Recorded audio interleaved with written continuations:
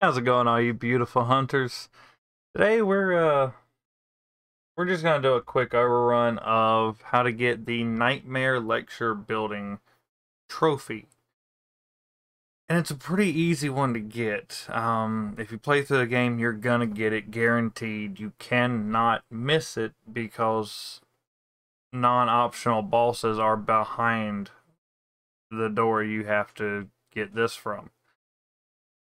In order to get this trophy, you have to gain entry into the Byrgenwerth Lecture Building that drifts within the realms of Nightmare. Two ways to get there. Either A, after you defeat Vicar Amelia, there are four doors or places you can knock on that hang a red lantern. After you've defeated Amelia and you go speak to one of them with a red lantern, it will give you the tonsil stone. Now, if you take the tonsil stone come out of Grand Cathedral and take a left. Go down, defeat the two hunters, work your way through, defeat the two giants, and then walk up and stand close to the door. A lesser amig- amygdala will pick you up, crush you, and transport you into the Byrgenwerth Lecture Building. The other way to do this is after you've beaten the one reborn, walking up and interacting with the corpse of one of the scholars from the School of Mensis. Um, no one has actually. I guess there has been confirmation. The corpse is of Micolash, one of the, the heads of the scholars at the School of Mensis. So we're just going to do a quick run through. I'm going to show you how to get a tonsil stone, or at least just the ways that I, I've always gotten a tonsil stone almost never use the tonsil stone to get to Nightmare Mensis because I always go there after I beat the one reborn. But hopefully it will allow me to show you both ways. I've never tried this. This, of course, is also a silver trophy. Alrighty, so here we are at the lantern you get after you defeat the one reborn. From here you can run up the steps. And inside this building here you see all of the students of the School of Mensis. But here is the corpse of Micolash, or the mummy of Micolash. Now ah, you can kneel to it and pray, and it'll transport you to the Nightmare of Mensis. But the other way that we can do this is a little more fun, actually. what we're going to do, we're going to return to Hunter's Dream. Then we're going to go to the Lantern where we defeated Vicar Amelia, at the Grand Cathedral. And then from there, we're going to wrap around, go kill two hunters, and after that, it's. I think we. Oh, we got one of the rare ones. Let me see if I can sneak up on her and let y'all hear the doll cry because it is uh it is definitely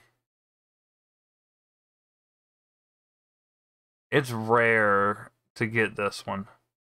Is she up here?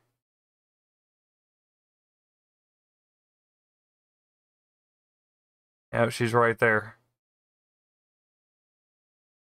I don't know what that tombstone is you never use it.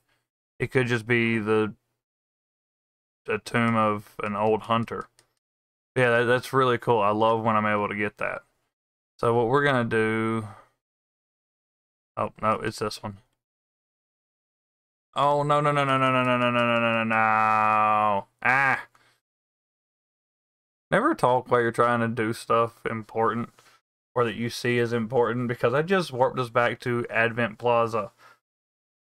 Which, you know, in all honesty, if you wanted to know where it was, Advent Plaza is this one. We're going to go back to Hunter's Dream and go to Grand Cathedral this time. Uh, at least y'all know I'm human. I screw stuff up. Uh, that should be evident from the last video going to the one reborn dying so many times. That was ridiculous. But no, we're going to go here. Go to the Grand Cathedral. And from the Grand Cathedral, we're going to go down like we're going towards the door that we were in that dish after Rom. There is a door we can speak to down there that will or should give us a tonsil stone. I'm not sure if I'm too far in the game to acquire one, but let's go find out. Again, I've never tried this this late in the game, and I've always used the mummy after the one reborn to get to the Nightmare of Mensis. I've never actually attempted going this route. We go out to the left, and then we go this way. And there are two hunters down here that we have to fight. Well, I say have to. You don't exactly have to fight them. But it's uh better off if you do.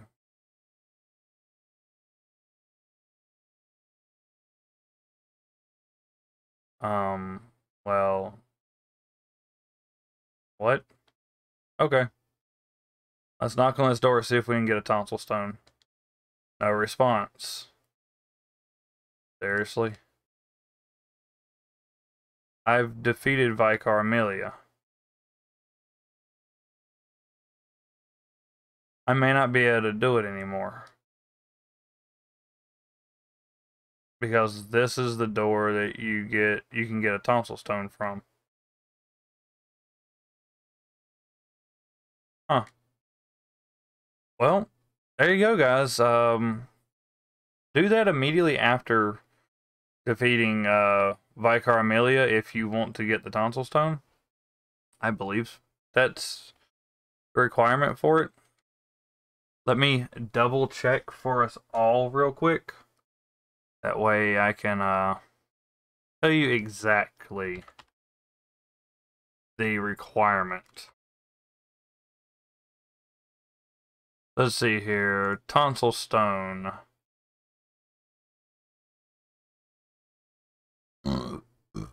Received from the first Red Lantern. Alrighty, so yes, you can receive the Tonsil Stone at that house.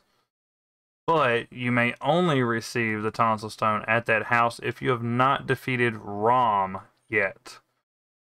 So, definitely as soon as you beat Vicar Amelia, if you want to. Go down to that house I just showed you. There will be two hunters there. Kill them.